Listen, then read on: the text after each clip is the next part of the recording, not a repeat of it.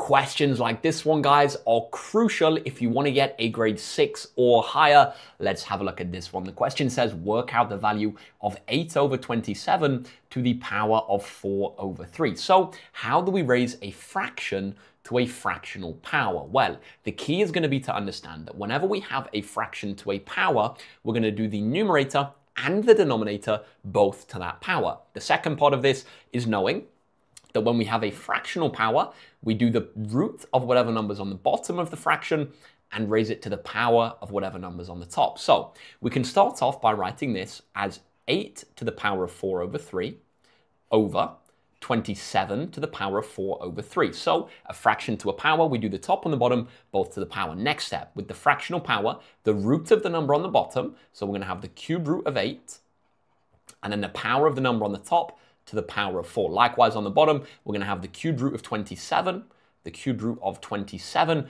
raised to the power of 4. What are these going to be, guys? Well, the cube root of 8 is 2. 2 to the power of 4 is going to be 16.